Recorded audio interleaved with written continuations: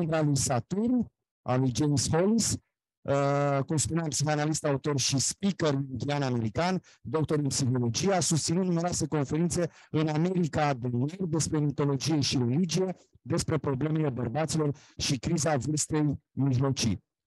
Aș uh, ruga pentru început pe colega mea, Andreea Pincea, să ne povestească puțin despre despre autor și despre, despre această carte care, iată, își găsește un, spune un foarte bine meritat uh, loc în această superbă uh, colecție. Bună ziua tuturor! Bună ziua invitațiilor! Bună ziua tuturor celor care sunt alături de noi astăzi, celor de acasă care sunt alături de editura Herald și poate ar dori să fie și în persoană alături de noi. Vă mai așteptăm și mâine când o să aibă loc ultimele lansări de carte de la editura Herald. Până una alta, aici, acum, astăzi vorbim despre o carte care cred eu că nu ar fi putut să apară într-un moment mai potrivit din punct de vedere cultural, din punct de vedere al evoluției culturii noastre, din punct de vedere al conștienței și al capacității noastre a tuturor de a coborâ în interior. Suntem mai mult ca oricând disponibili, mai mult ca oricând în istoria uh, culturii umane, disponibili să coborâm în interior și să privim uh, conștient ce se întâmplă acolo. Suntem mai mult ca oricând pregătiți, uh, bărbați și femei, să facem uh, de mână împreună și separat acest travaliu de a înțelege până la urmă care sunt reperele vieții tale, care sunt um, zidurile care ar trebui fie traversate, fie ocolite, fie sparte câteodată, astfel încât vitalitatea din interiorul tău, viața ta să devină până la urmă prezentă cât mai mult în ceea ce înseamnă zi de zi, moment de moment, respirație de respirație, uh, existența ta. Uh, James uh, Hollis este un personaj care, alături și de autorul cărții Iron John, a făcut un travaliu impresionant, începând cu anii 80-90 în America. Este vorba de un personaj care a înțeles, în primul rând, și punctează în, în prefața acestei cărți, în umbra lui Saturn, faptul că astăzi putem să îmbrățișăm ca bărbați călătoria în interior de cunoaștere de sine și vindecare de sine, grație faptului că a existat o mișcare a femeilor. Mișcarea bărbaților este de James Hollis recunoscută în începutul acestei cărți ca fiind pasul de inspirație, pentru că astăzi, spre exemplu, statistica și, și menționată de James Hollis în carte și de alți psihoterapeuți cu care am stat de vorbă, statistica de participare a bărbaților în terapie să fie, dacă nu egală, chiar un pic mai mare decât a femeilor, femeilor care vin în terapie. Asta uh, vorbim despre ultimii 10 ani, lucru care acum 10 ani, uh, cu siguranță și dumneavoastră, uh, invitații, o să puteți confirma, în primul rând femeile veneau în terapie. Prin urmare, cred că efectul uh, um, muncii lui James Hollis peste hotare și sper de acum înainte și în România, este unul care spune a sosit momentul. A sosit momentul să ne uităm și bărbați și femei la ceea ce se întâmplă în interiorul nostru legat de acest spirit saturnian, de această figură, de acest mit care în mod inconștient se lășluiește în interiorul nostru și care își spune poveștile câteodată și uh, câteodată observabil, alteori neobservabil, deci inconștient, își spune poveștile amare, își spune povestile care trunchează, își spune povestile care blochează și care castrează, de ce nu, poveștile care, la fel ca în mitul lui Saturn, vorbesc despre un tată care nu a înțeles, nu a știut, a trebuit să pornească de la zero uh, ca și principiu al vieții în înțelegerea iubirii.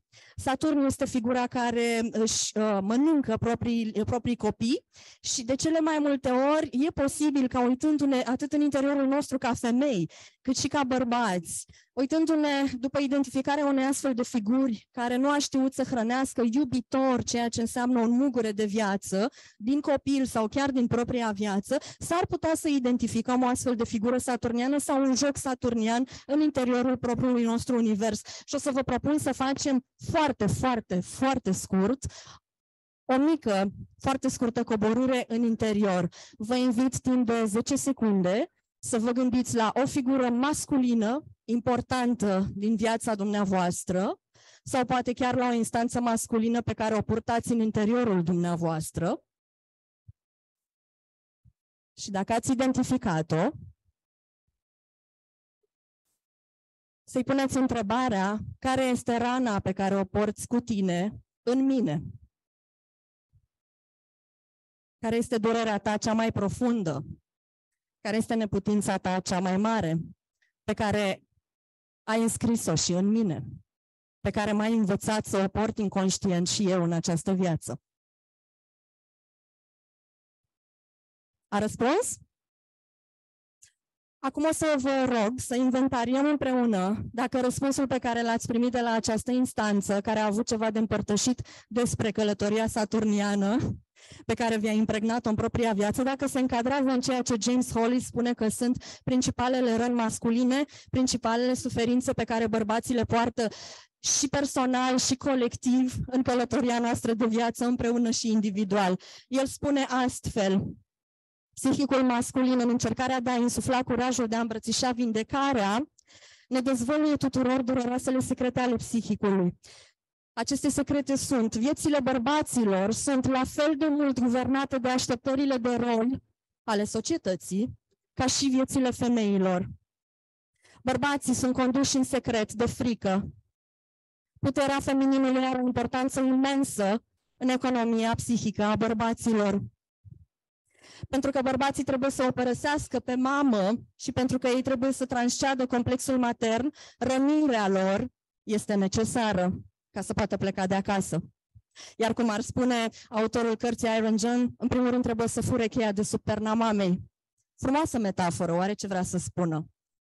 Um, bărbații participă la o conspirație a tăcerii, al cărui scop este inhibarea adevărului lor emoțional. Viețile bărbaților sunt violente pentru că sufletele lor, sufletele lor au fost violentate sau violate. Fiecare bărbat poartă un dor profund pentru tatăl său și pentru tații săi tribali din comunitate, pentru figurile, da? Hrănitoare, masculine din comunitate. Iar ultima dintre răni și dintre secretele acestei călătorii masculine este ca să se vindece, bărbații trebuie să activeze în interiorul lor ceea ce nu au primit din exterior. Și acum vă întreb dacă am putea în seara aceasta să ne gândim puțin la cât de greu este unui bărbat care nu se poate conecta prea ușor la emoții, pentru că o cultură în care trăiește i-a spus că nu are dreptul să simtă, sau pentru că nu trebuie să arate ce simte, cât de mult reușește el să se mai conecteze la propriile emoții cu iubire și într-un mod hrănitor. Uh, cum poate el să mai ajungă la o persoană de lângă, fie bărbat, și vorbește James Hollis în această carte de nevoia bărbaților, de a avea în continuare ritualuri de devenire în care bărbatul este alături de un alt bărbat, în care un bărbat mai înțelept, mai experimentat, conduce un bărbat mai tânăr prin caznele acestea ale devenirii masculine. Cât de mulți bărbați stau împreună și reușesc să-și împărtășească în adevăratul sens al cuvântului rănile de peste zi, rănile de peste an, rănile unei relații din care nu pot să iasă sau din care au ieșit. Rolul femeilor în toată această poveste este, poate, cu răbdare și citind această carte, să descopere că cu toții ne confruntăm cu un complex matern și un complex patern, cu toții proiectăm în partenerii noștri, în colegii noștri de muncă, în oamenii de pe stradă, în uh, uh vânzătorii de la magazine, proiectăm de fapt și o parte din umbra lui Saturn și și probabil trăim cu ea și în umbra ei, fără să ne dăm seama. Așa că îi las pe invitații noștri din această seară să vă spună în detaliu uh, ce înseamnă de fapt aceste uh, borne de trecere, aceste borne de devenire și principalele jaloane pe care vindecarea masculină, uh, într-un fel sau altul, le propune fiecăruia dintre bărbații din viața noastră și de foarte multe ori bărbaților din viețile noastre ca femei și instanței masculine din interiorul nostru. Da, este o carte și pentru pentru bărbați și pentru femei, care la final te face să vezi cu totul altfel uh, ce înseamnă spațiul de întâlnire vindecător dintre oameni. Mulțumim, Andreea. Lavinia, ce rol au rănile emoționale ale bărbaților în procesul de dezvoltare personală și de cristalizare a identității masculine, ținând cont de faptul că tu cunoști foarte bine autorul Uh, dacă nu mă înșel, dacă nu înșală memoria, la lucrarea de licență ai avut ca temă masculinitatea. Da. Așadar? Da, uh, mulțumesc în primul rând Sper și se audă, da. Mulțumesc pentru invitație. Uh, este o temă care m-a interesat uh, într-adevăr de ceva vreme. La lucrarea de licență, precum ai zis, uh, am avut o lucrare dedicată ideii de dependență maternă, s-a numit mitul androginului sau despre dependența maternă a bărbaților și mi se spune mereu să public această lucrare pentru că s-ar cumpăra. Uh, eu cred că totuși există uh, și am descoperit uh, cu foarte mare încântare în operele lui James Hollis, pe care într-adevăr îl cunosc din, într-un interviu pe care l-am avut împreună cu dumnealui despre copilăria lui, deci și despre form, modul în care s-a creat el și ca analist jungian și ca bărbat, de ce nu? Uh, mă bucur să descoper ideea aceasta a devenirii și a uh, faptului că bărbații, ca și femeile, dar astăzi vorbim despre bărbați, au de, uh, depășit o serie de dificultăți, să zicem așa, de relație, în primul rând cu mama, ulterior cu așteptările celor din jur, de cucerire, să zicem, a valorii din partea tatălui. Uh, sunt foarte multe așteptări de la uh, băiat și ulterior de la bărbat. Cultural vorbind, în spațiul românesc, de exemplu, se spune că bărbatul este cruce întreagă. Ce o însemna acest lucru, cu siguranță este uh, foarte, uh, știu eu, variabil. Uh, putem să, uh, de la familie la familie, dar sunt situații în care băieții, în mod inconștient, sunt mai degrabă să zicem, uh, favorizați de mame, nu pentru că au o relație, știu eu, privilegiată, ci pentru că mama, uh, tot conform studiilor spun, uh, sunt, mama este foarte plăcut impresionată, să zicem așa, îi se deactivează complexul acesta al creatorului în momentul în care își dă seama că ea a creat un alt gen decât al ei. Deci, în momentul în care își dă seama că a creat un gen masculin, ea fiind feminină, în momentul acela îi se activează cel mai mult ideea aceasta de uh, uh, creator. Da? Și uh, în momentul acela, toți știm, există o legătură absolut specială între mamă și fiu, precum există una între tată și fică. Însă și și mamă și fică sunt foarte multe cărți scrise pe subiectul acesta uh, și cum nu vrem să fim ca mamele noastre sau de fapt cum vrem să fim ca mamele noastre, oricum uh, ar fi, mai degrabă încercăm să discutăm astăzi despre relația foarte, foarte profundă a bărbatului cu mama lui și a modului în care încearcă acesta să se autonomizeze. Și zice James Hollis pe parcursul cam tuturor uh, cărților pe care le scrie, menține această triadă, ca să zic așa. Uh, spune dumnealui, bărbatul, viața bărbatului se circumscrie în jurul a trei cuvinte cu W, mă rog, în engleză sună bine W, da? dar uh, în română.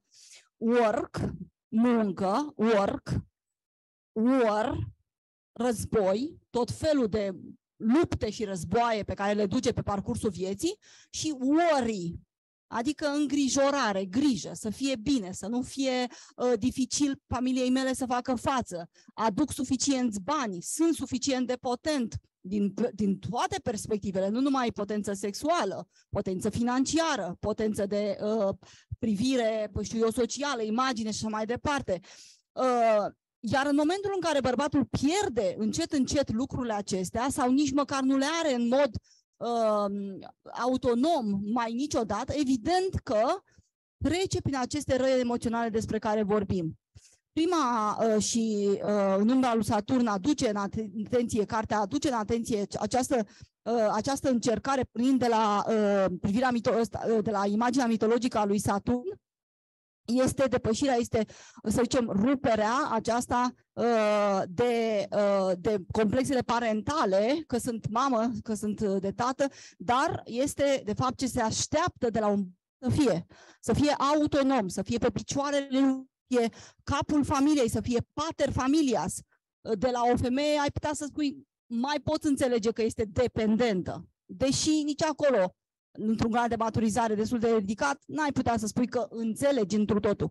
De la un bărbat dependent, deja, uh, deci cu imaginea unui bărbat dependent asociați uh, slăbiciunea, neputința, incapacitatea, sărăcia, de ce nu, de toate felurile. Acesta este motivul pentru care rănile emoționale sunt trăite mai plenar, opinia mea și probabil și a altor autori, uh, de bărbați și au de dus o luptă mai acerbă decât uh, femeile. Mulțumim, Lavinia Corneliu. Care sunt uh, aspectele importante ale masculinității abordate de James Hollis în cartea În umbra lui Saturn și cum se reflectă ele în societatea de astăzi, dacă ne referim mai ales la presiunea despre care și James Hollis vorbește în carte, presiunea exercitată asupra bărbaților legată de anumite expectații, de anumite așteptări pe care le avem de la, uh, de la bărbați. Da, e clar că societatea versează pentru a se înde- bărbatul să îndeplinească anumite roluri și Hollis chiar vorbește că asta e sursa nefericirii bărbaților, fiindcă ei se simt dator să execute ca niște ființe consumabile, cum spune Hollis, ceea ce li se cere la muncă, în familie, de către societate. Și asta îi îndepărtează pe bărbați uh, cu fiecare zi, cu fiecare an, îi îndepărtează de propriul sine autentic. Deci, practic, societatea îi trage într-o direcție falsă, construiește un sine fals în, uh, în bărbat. Nu? Deci, uh, aici e foarte important și modelul patern, cum îi transmite tatăl fiului că trebuie să facă în viață, cum trebuie să-și îndeplinească dorințele, cum să lupte pentru ele, Uh, tatăl îi transmită băiatului și cum să se raporteze la feminitate, la feminitatea femeilor reale, a partenerilor, la feminitatea din sine însuși, nu că uh, Hollis vorbește despre partea feminină din fiecare bărbat și, și în general în psihoterapie, în psihanaliză se discută mult de partea feminină din bărbat doar că toate aceste gânduri bărbatului se interzice să le gândească. Adică un bărbat nici nu are dreptul să gândească la feminitatea din el. Deci el este nefericit, dar fără să știe că este nefericit sau dacă își dă seama că este profund nefericit, nu are instrumentele să, să-și rezolve aceste preocupări legate de feminitate, de muncă, de îngrijorare, cum spunea și colega înainte. Da? eu primesc de la tatăl meu un îndemn, trebuie să ai grijă de familia ta, eu îmi interiorizez acest, acest îndemn și sunt bărbați care toată viața asta fac, asta am de făcut, trebuie să am grijă de familia mea, fără să mă mai întreb care sunt nevoile mele, ce îmi cere sinele meu autentic să, să fac ca să fiu uh, în armonie cu, cu el. Da? Iar legat de mamă, aici e foarte important și ce transmite și mama fiului. Uh, Holly spune că, într-adevăr, mama nu poate să transmită ce înseamnă a fi bărbat. Uh, doar tatăl este cel care uh, îi transmite asta și fiul se identifică cu, cu ceea ce transmite tatăl, pe când mama îi transmite ce înseamnă feminitate, ce înseamnă maternitate, ce înseamnă feminitate. Și, de asemenea, foarte important, ar trebui să poată să-l lase pe fiul la adolescență să înceapă încet, încet să se separe de Adică nu e numai fiul care, care vrea să fie dependent de mamă sau nu, este și mama care îi dă voie, îi permite fiului să se desprindă sau nu. Și asta e o suferință aici, nu orice copil, orice adolescent, la un moment dat când se îndepărtează de mamă, de dependența de mamă, asta presupune o anumită suferință, dar pe care și-o asumă ca să, să-și îndeplinească rolul de bărbat. Deci, în prezent, asta mi se pare esențial, că bărbații, practic, nu au un model, nu este foarte clar ce înseamnă a fi bărbat și apoi, dacă ei își definesc ce înseamnă a fi bărbat, nu au o modalitate uh, clară cum să devină, cum să interiorizeze acea definiție și cum să încarneze definiția bărbatului. Nu? și de asta aceste cărți pot să vină ca niște modele, sunt niște tați simbolici acești autori care ne transmit uh, ce înseamnă să fii bărbat și să interiorizăm, să internalizăm unele din ideile lor, să vedem care din ele se potrivesc cu felul nostru de a fi și să le și aplicăm, nu? Fiindcă Hollis ne spune să nu luăm cartea lui, să o citim intelectual, și ne, ne transmite ideea asta foarte importantă să, să o și trăim, adică să facem a noastră tot ce scrie el aici ca îndemnuri, să le facem ale noastre, să le să le și trăim, să nu rămână doar idei intelectuale, ci să facă parte din viața noastră, din experiența noastră ca bărbați.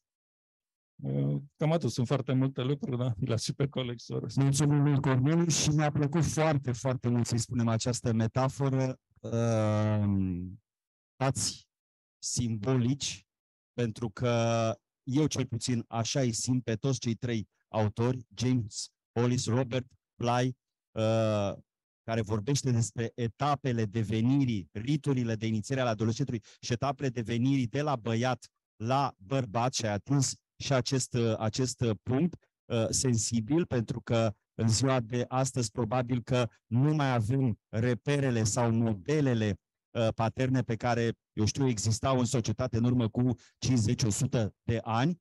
Uh, acest motiv, probabil că există și această polarizare a, a rândurilor femeie bărbați și vedem în societatea de astăzi și bărbați mai efeminați și femei mai puternice și mai independente, așa? Deci, uh, într-adevăr, foarte, foarte frumoasă această expresie, uh, tați uh, simbolici. Paul, este o carte pentru bărbați, o carte de, să-i spunem, de self-help, și în ce măsură putem să vorbim astăzi despre problemele specific masculine? La cum am parcurs eu cartea, este o carte dedicată bărbaților în ideea uh, pe care o abordează autorul unei masculinități într-un spirit tradițional și vechi, profund. Astăzi, uh, din cauza împletirii și rolurilor și din cauza faptului că atât femeile cât și bărbații, și trebuie să punctez asta, în marile aglomerări urbane au putut să lase deoparte constrângerile de rol sub imperiul tuturor situațiilor posibile. Îmi imaginez uh, mame singure, îmi imaginez uh, Uh, tați uh, bărbați răniți, uh, sensibili, um, sau care adoptă slujbe, ocupații, muncă, care până la un punct se, erau foarte rigid prescrise anumitor roluri. Educația până acum 100 de ani era aproape exclusiv dedicată femeilor, în special educația copiilor mici, uh, construcțiile erau un uh, domeniu, sau armata era un domeniu exclusiv masculin, uh, și astea sunt exemple uh, doar foarte evidente. Deci, din cauza acestor uh, prescripții de rol, care astăzi se permeabilizează, uh, masculinitatea, impresia mea este că masculinitatea schimbă nuanțele de la corpul masculin înspre mai degrabă principiul masculin. Astăzi, o femeie, o mamă, poate să-și activeze principiul masculin pentru a-și ghida fiul de 14 ani care, spune ea, a luat o raznă. Și mi-aduc aminte un autor acum câte luni, uh, Andrew Samuels, da? în februarie, mulțumesc Lavinia, care a punctat pentru o imagine uh, cu deosebit impact o luptătoare britanică uh, era acolo, de culoare, la Olimpiada, nu știu care, uh, boxa. Și acea imagine a avut un impact uh, deosebit, în timp ce el ne-a întrebat. Credeți că o femeie ca aceasta are sau nu are forța și puterea de a impune limite băieților ei? În contextul în care polemiza despre forța masculină prezentă în femei și, iată, distribuită astăzi ceva mai uniform în societate. Revenind la subiect, această carte uh, cred că se adresează uh, bărbaților în ideea în care masculinitatea este centrată în bărbat. Altfel, se adresează masculinității. Principiile pe care le descrie Uh, pot fi abordate și de uh, fete care cresc, în special cum uh, punctau colegii mei din aur, desprinderea de mamă este necesară atât pentru băieți cât și pentru fete, Însă, marea diferență pe care uh, James Hollis speră să o putem recupera se referă la ritualurile de inițiere, care în societățile mai vechi uh, erau foarte clar împărțite. Ritualuri arhaice, da.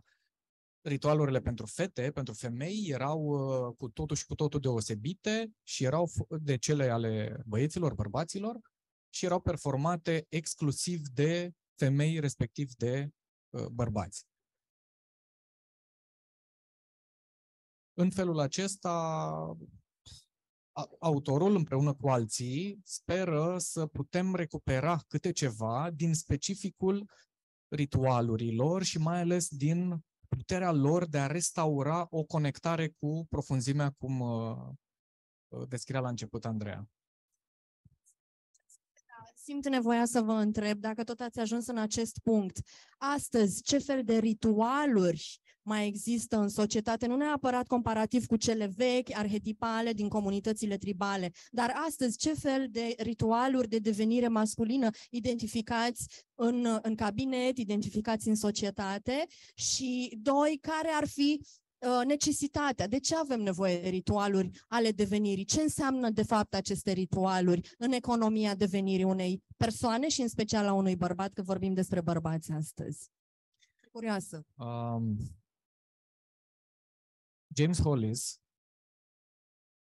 punctează faptul că pentru, în primul rând, pentru ieșirea din complexul matern, și avem o exprimare în psihoterapie, ieșirea din mamă, care se referă de fapt la depășirea influențelor psihice fundamentale ale mamei și ruperea de tendința regresivă care este constantă, pentru, această, pentru acest pas psihic este mare nevoie de inițiere masculină. Și punctează autorul și uh, alții, Mircea Eliade, Campbell, de asemenea, uh, ritualurile presupun acele etape de pregătire, desprindere, izolare, uh, inițiere, primirea mesajului nou, în cele mai multe situații primirea unei identități noi și în cele din urmă apartenența la o altă castă.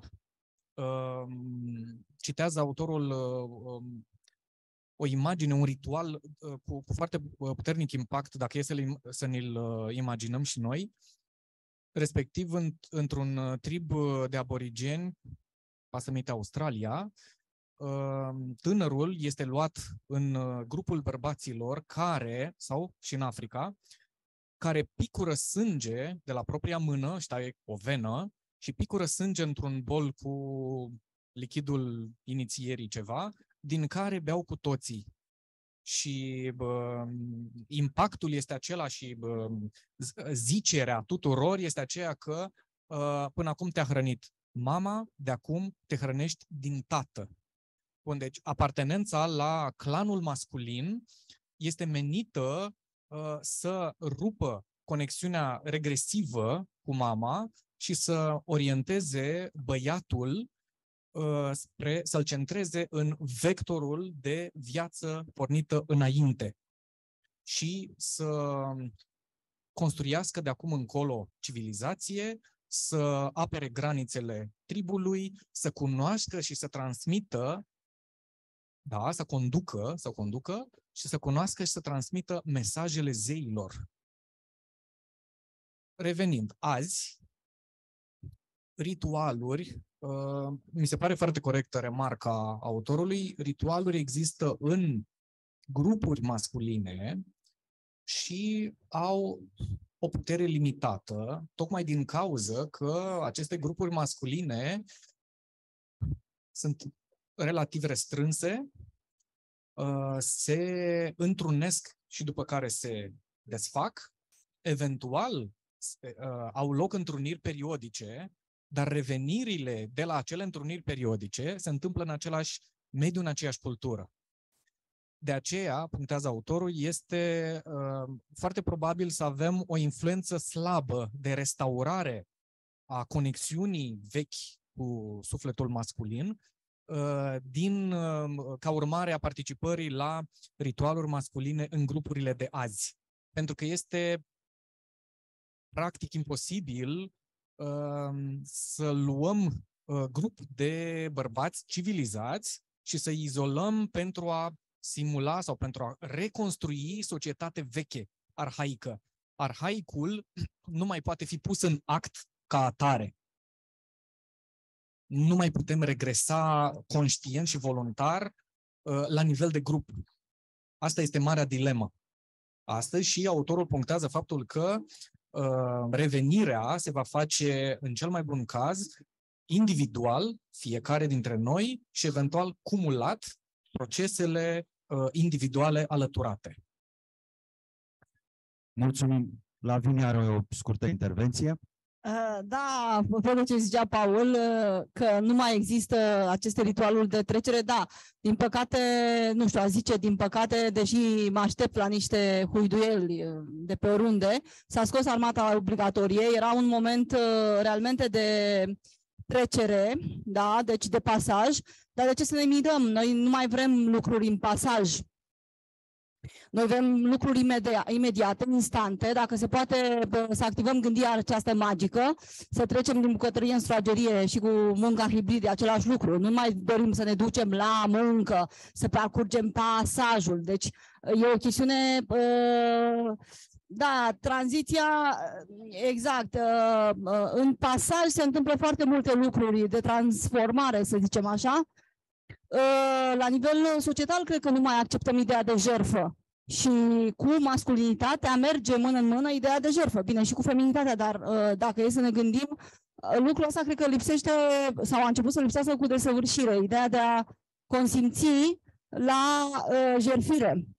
Și aș mai spune ceva, apropo de faptul că Holis, într-adevăr, remarcă că nu mai avem ritualurile respective, dar noi putem să le civilizăm și, de exemplu, în uh, viața de zi cu zi, actualmente, ieșirea din uh, maternitate, din mamă în, și intrarea, să zicem, în lumea tatălui, adică în lumea regulilor, poate să însemne, în mod simbolic, respectarea legilor. Și stăm foarte prost la chestiunea asta, stăm din ce în ce mai prost. Uh, sau, uh, nu știu, acceptarea autorității, care de cele mai multe ori poate nu ne place, dar ideea aceasta de adaptare la o realitate concretă este parte din maturizare. Pentru că, da, nu ne așteptăm ca în, primitiv, ca în uh, societățile primitive, ca mama să fie, să zicem, copilul să fie moșit de tată, de un tată puternic, pentru că ce se întâmplă este că tatăl este, cel, este principiul care decelează, este principiul care desparte, rupe. Mama, dacă ar fi după capul ei, uh, n-ar lemța niciodată la copil. De ce? De ce să renunțe la copil? Deci îl ține foarte puternic. Pentru ca să existe o separare, trebuie să existe un tată puternic, nu numai o mamă puternică. Dacă există tatăl puternic și nu numai masculinitatea despre care vorbeam, ci și persoana tatălui, foarte bine. Dacă nu, copilul rămâne în sistem, în, uh, în casă, în sistem, în marea mamă, ca să zic așa, și devine fie, să zicem, uh, apartenența în armată, să știți că de cele mai multe ori, în sistemul de armată, este tot un uh, sistem feminin. Uh, masoneria este un sistem feminin. Asta în, da, de exemplu, într-un sistem, aș putea spune, habonic, înțeles, al bisericii, este un sistem maternal, habotnic, atenție, nu trăit, nu trăitorii adevărați. Aceia sunt cei care au ales, aceia sunt cei care au decelat, aceia sunt cei care au parcurs lumea mamei, lumea tatălui și au devenit ei însiși. Dar, de multe ori, noi rămânem în lumea mamei. De ce? Pentru că suntem învățate așa. Suntem învățate așa. Și este foarte greu și n-a avut cine să ne separe, pentru că nu e așa. El, tatăl era fie slab, fie absent, fie mort. Când spun mort, nu mă refer mort în cimitir, mort în casă. Adică el este lipsit de prezență. The dead father, exact cum zicea și Andrew Samuels în conferința despre masculinitate din februarie, uh, este tatăl care, este prez- care suferă de prezenteism, adică este în spațiu, dar nu dă niciun fel de semn de a fi viu. Înțelegeți? Uh, aveai o întrebare pentru mine? Da, Te-am pus pe gânduri? ai pus pe gânduri, da. Asta e, trebuie să încep cu tine. Uh, Da, interesantă chestia asta cu absenteism tatălui. Uh, prea prezența lui doar ca psihic, dar nu și din punct de vedere exact, nu și din punct de vedere emoțional și empatia pe care arată față de uh, copii, față de băiat, înțelegându-i emoțiile, nu le, nu, le, nu le înțelege nici ale lui. Nu au fost înțelese poate când era el copil de către tatăl, uh, de către tatăl său. Pentru că nu întâmplător am ales aceste trei cărți Holmes, Robert uh, Bly și uh, Joseph Campbell. Și mai devreme mi-a plăcut mult uh, exemplu pe care l-a dat uh, Paul, era cel cu uh, ritualuri și cu uh, sângele și cu cum au făcut uh, cei prezenți acolo, era uh, scris de Robert Bly în cartea uh, Iron John, pe care de asemenea vă recomand cu mare, mare drag ce învățăminte putem să extragem din călătoria eroului, călătoria interioară a eroului a lui Joseph Campbell, uh, în contextul masculinității contemporane, uh, eu făcând, uh, repet, recidivesc cumva și spun cât de mult mi-a plăcut expresia lui Corneliu Tații simbolici, această călătorie în vindecarea rănilor, în explorarea proprii lui lăuntrice, interioare, legătura dintre Joseph Campbell și, iată, uh, James Hollis. Uh, e foarte interesant că uităm foarte des poveștile noastre. Poveștile copilăriei uh, sunt rețete perfecte, aș zice. Dacă te uiți și vezi exact acolo faptul că prâslea nu pleacă dintr-o dată la în călătoria lui, da? Deci el nu, el trebuie să-și pregătească mârțoaga, care este o mârțoagă inițial. El nu este un cal, nără, uh, nu nărăvaș, uh, maes, exact. El nu este un uh, cal măiastru. El devine un cal măiastru. Ce înseamnă? Îți pregătești corpul pentru chestiunea asta, îl hrănește cu ce?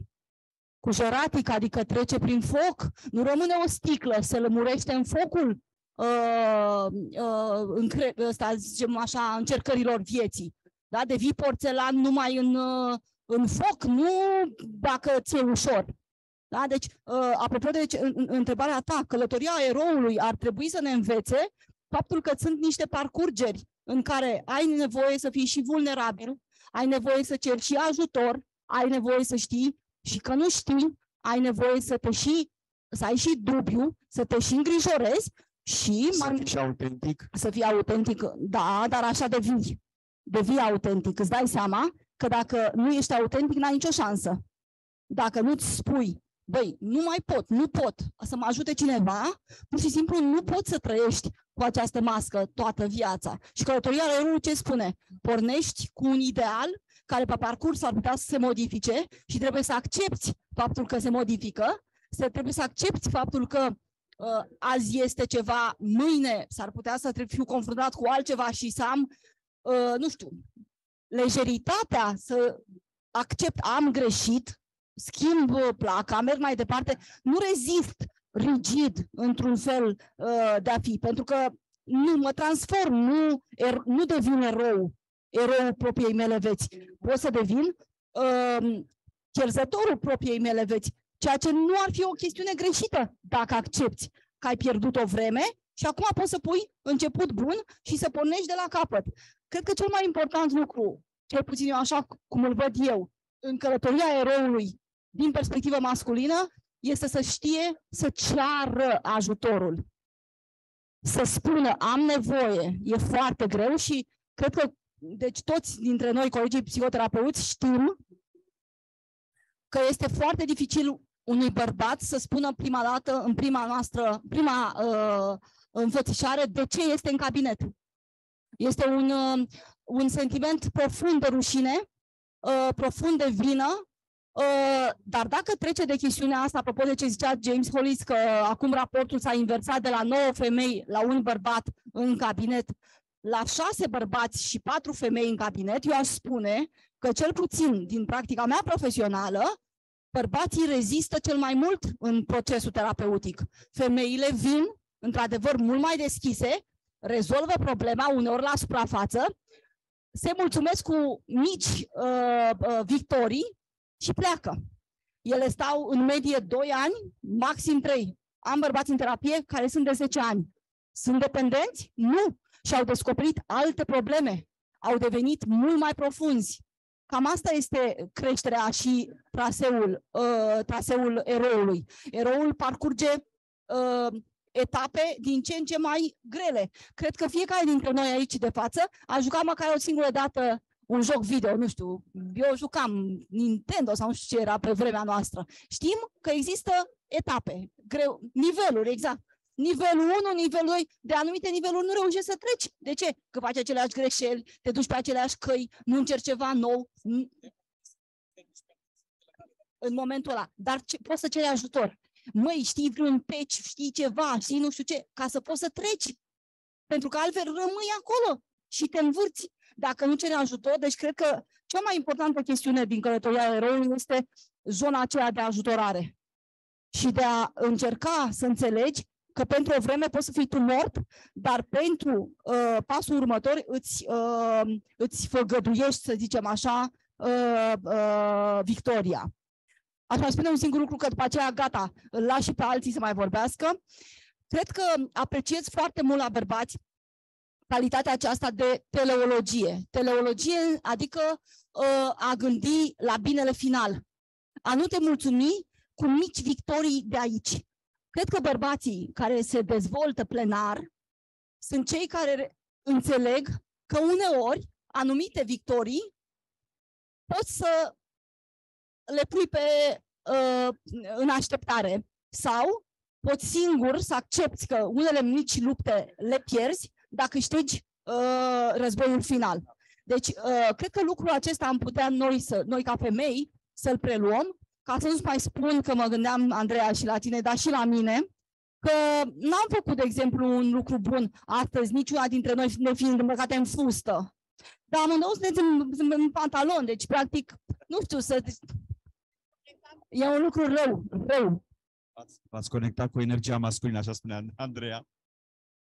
Corneliu, pentru că mi-ai mărturisit uh, zilele trecute că din carte cel mai mult s-au plăcut cei șapte pași de vindecare despre care vorbește James Hollis în, uh, în uh, umbra lui Saturn și cele opt secrete, aș vrea să ne povestești puțin despre el.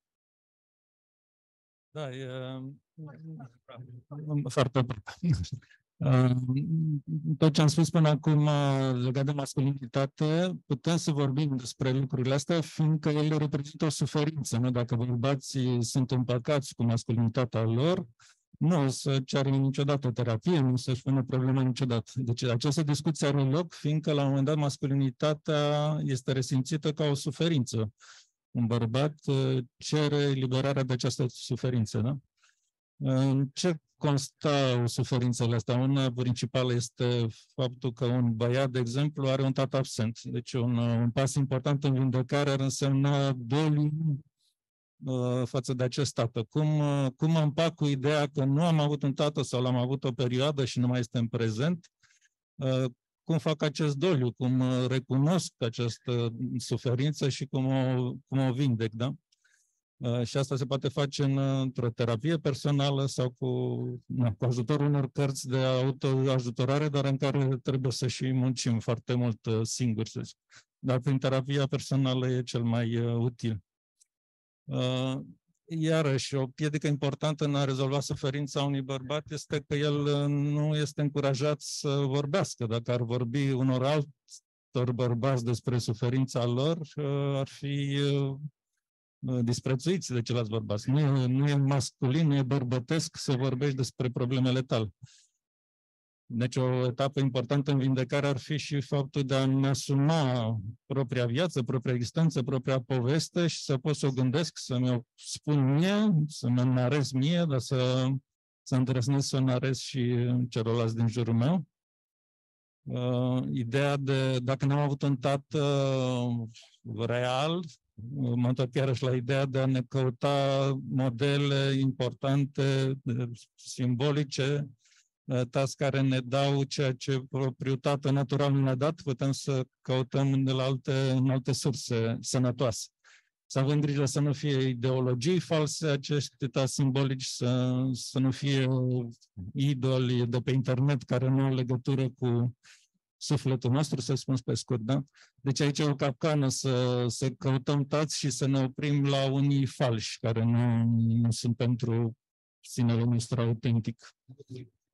Um, o vindecare importantă este cea a traumelor. Nu? Un bărbat trece, poate să treacă prin traume legate de mamă care este ori prea prezentă, deci o traumă prin prea mult, e prea prezentă, nu sufocă, ori este, o mamă poate fi traumatică prin lipsă, nu știu, o mamă depresivă va fi absentă psihic și atunci copilul este traumatizat prin ceea ce nu se dă, prin absență, prin abandon. Și tatăl la fel, poate să fie prea rigid, prea prezent, cu pedepsă prea gravă, deci o traumă cu prea mult, prea saturnian, sau să fie traumatic prin absență, prin indiferența față de fiu, prin faptul că nu-i transmite nimic din uh, modelul ce înseamnă să fii băiat, adolescent, băr- tânăr, bărbat. Și aceste traume se vindecă, în primul rând, conștientizând că o anumită traumă ne fixează în copilărie, deci copilul ăsta traumati, traumatizat, îl păstrez toată viața, pot să am 30 de ani, 40 de ani, dar în mine rămâne micul copil uh, traumatizat de la 5 ani, de la 7 ani. Da? Și în acest copil este înconjurat de rușine. Mi-e foarte rușine să spun celor din jur, știi, tatăl meu m-a abandonat, să știi, mama mea nu m-a iubit. Astea sunt fraze care nu se spun uh, ușor deloc și nu, deci cum, cum ne asumăm uh, faptul de a rosti adevărul despre noi și cum vindecăm aceste traume, aici e foarte important. Uh, și apărările astea, rușinea și vinovăția, uh, nu suntem noi, nu și Holly spune, într-o traumă în copilărie ne dezvoltăm o personalitate alternativă, nu suntem noi, nu este esența noastră. E o anumită esență, o anumită identitate și trauma um, apare ca o excrescență, mă împovărează cu ceva ce nu sunt eu. Deci eliberarea de aceste traume de prea mult sau prea puțin uh, poate să ducă la o vindecare. Uh, dar încă o dată cred că o terapie este necesară pentru, mom- pentru momentele foarte dificile. Ne putem vindeca singuri de multe lucruri, dar uneori sunt și lucruri dificile de, în care terapia ne ajută să, să depășim. Asta se, com- Aș dori să completez un pic exact ceea ce ai uh, spus, cu dificultatea transmiterii imaginilor de la o generație la alta. Este foarte dificil, în special în societățile tradiționale, și societatea noastră este, prin excelență, una tradițională, are aspectele ei chiar medievale, să accepte că unele lucruri se pot schimba brusc de la o generație la alta ceea ce noi numim în această generație și din punct de vedere psihoterapeutic traumă, pentru părinții sau bunicii noștri era normal. Se încruntă și ridică din sprâncene. Asta te-a traumatizat? Mulțumesc. Da, mă aduc aminte că bunica mea, cu care am crescut destul de mult timp, vedea un bărbat care venea pe stradă, spunea, vine un om. Da? Adică bărbatul era om și femeia eventual se subînțelegea că nu este om sau nu e atât de om. Da? Și ne întrebăm, da, cum un băiat, eu, cum luăm aceste lucruri care sunt transmise indirect, deci bunica nu și-a pus în cap să-mi transmită ea, ai grijă că bărbații sunt oameni, că oamenii sunt bărbați și bărbații sunt oameni adevărați, nu a spus asta direct, dar văzându-o pe ea că spune om la bărbat, deci acest mod de a transmite din generație în generație nepotului care eram eu, o anumită concepție despre viață, despre bărbat. Nu eram mândru, a, uite, eu sunt, sunt om, fiindcă bunica m-a făcut om. Identitatea mea este construită pe, pe astfel de transmiteri din generație în generație. Și salvarea este de să, în primul rând, să conștientizăm ce anume mi-au spus bunica, bunicul, tatăl și mama mea despre ce înseamnă a fi bărbat, care e identitatea mea profundă de bărbat, și să fiu conștient de asta ca să pot să mă desprind de ele. Nu pot să mă desprind de ceva negativ din ce am primit dacă în primul pas nu devin conștient. Uite ce mi s-a făcut, uite ce, ce mi s-a transmis, cum mă eliberez de lucrurile astea și apoi, uh, iarăși foarte important, ce pun în loc. Că una e să prins de ce ai avut, dar ce punem în loc, ce construim, da? Urma să fie exact și întrebarea mea, ne constelăm ce să facem. Uh, Saturn am înțeles sau vom înțelege, am putea înțelege și din această carte care e rostul lui, ce face și în ce fel el mai rezidă astfel în viețile noastre în mod inconștient sau poate chiar observabil și conștient. În uh, călătoria uh, eroului prezentată în uh, Eroul cu o mie de chipuri, la fel, există acest împărat întuneric, al întunericului sau întunecat, există tatăl rău, la fel cum există și maștera, mama cea rea, mama moarte și așa mai departe. Robert Bly și el vorbește despre figurile astea importante, v-aș întreba pe dumneavoastră, dacă nu Saturn, atunci ce?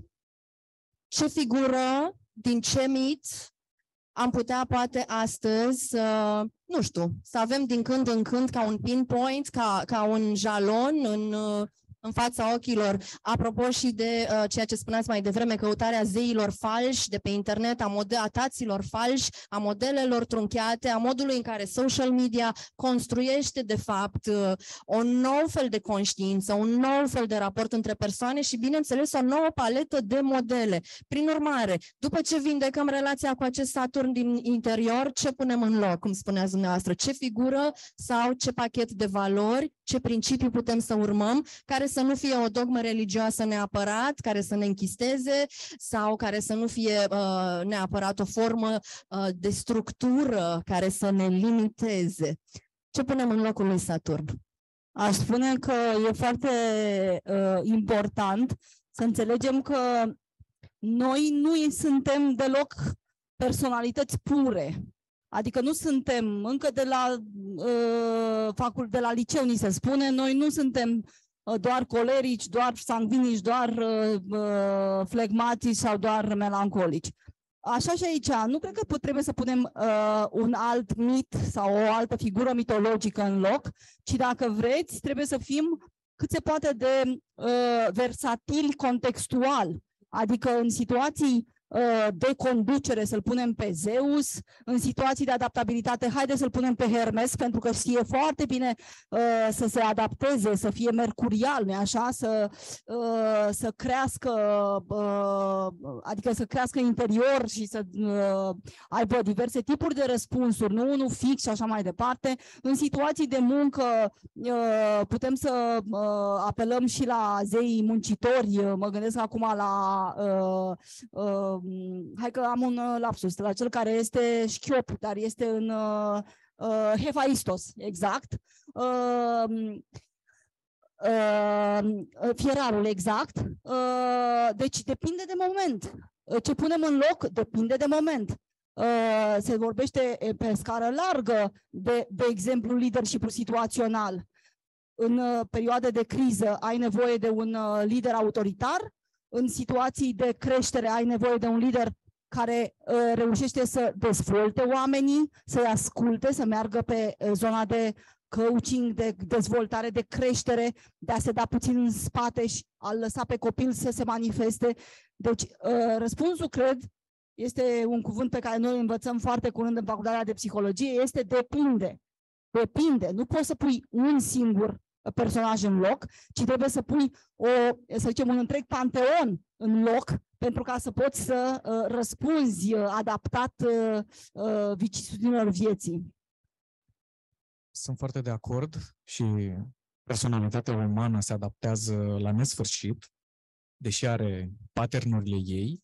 M-aș întoarce un pic la întrebarea inițială, uh, să răspund într-un alt unghi, să încerc să răspund într-un alt unghi zeii sunt ființe îndepărtate oamenilor, iar capriciile zeilor în trecut erau resimțite prin tot soiul de evenimente naturale trăite de oameni pe pielea lor, astăzi, iată, sunt uh, trăite ca influențe psihologice de undeva din adâncuri.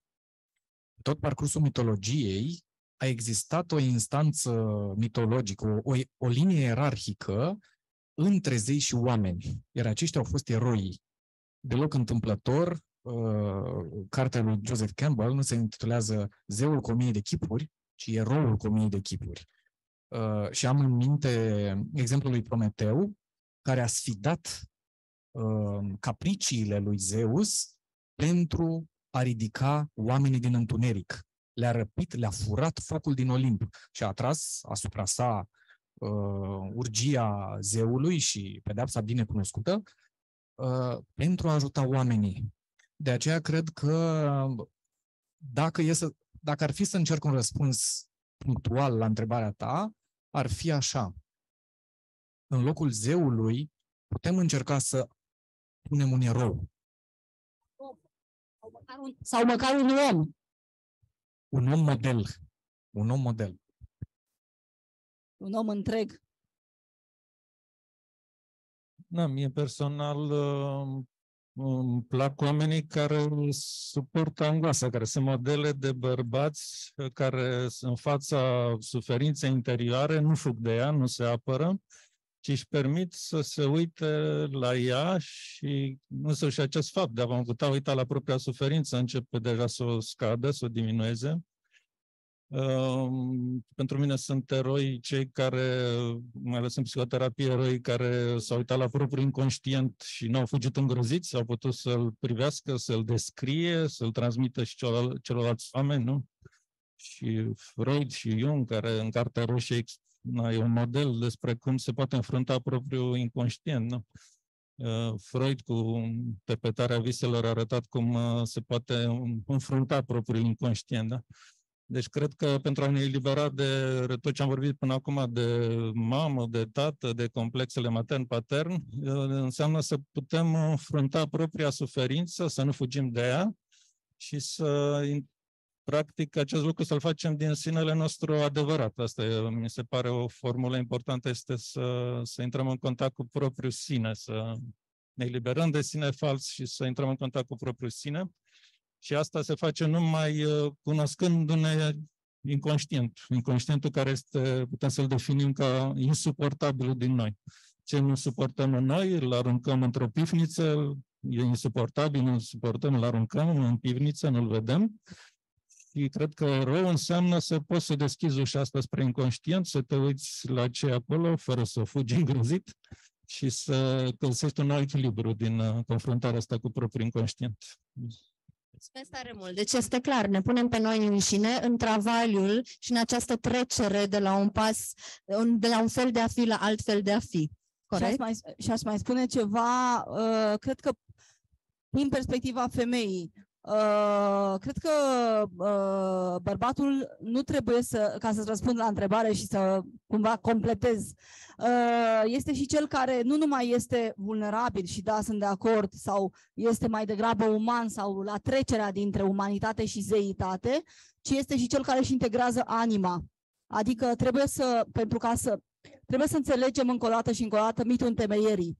Ne învață Manole foarte uh, grav cu faptul că el, uh, pentru ca să crească, să întemeieze uh, mănăstirea, el uh, o jerfește și o pune la bază pe Ana. Ce înseamnă asta? Trebuie să internalizăm și să fim din ce în ce mai conștienți de propria noastră emoționalitate, ca bărbați, discut acum. Deci trebuie să faci un adevărat travaliu în a îți integra anima. Este una dintre cele mai grele, importante, dacă vreți, apropo de uh, titlul acestei uh, cărți, nu numai Saturn este un cuvânt greu, umbra este un cuvânt greu, dar și anima e un cuvânt greu. Pentru că toate trebuie integrate. Asta, asta vreau să zic. Paul, referitor la masculinitatea, hai să spunem, toxică, agresivă, și mergem din punct de vedere psihologic ci din punct de vedere transgenerațional, furia și pare relaționale disfuncționale sau modele de părinți, de tați uh, din punct de vedere disfuncțional, furia se acumulează de la o generație la alta? Parafrazând-o pe Lavinia, depinde, eu zic, pe cine întrebi. Uh, astăzi, în psihoterapii, și în psihoterapie de grup putem vedea urmele furiei sedimentate de generații. Raportarea, de exemplu, publică la autoritate, cel puțin în populația românească, constatarea mea mă duce la concluzia că se face prin sedimentarea unor modele de reacție vechi la furie. Uh, și uh, toată raportarea și pe verticală și pe orizontală implică un model, de, un model internalizat al relațiilor de putere. Sub perspectiva acestui model,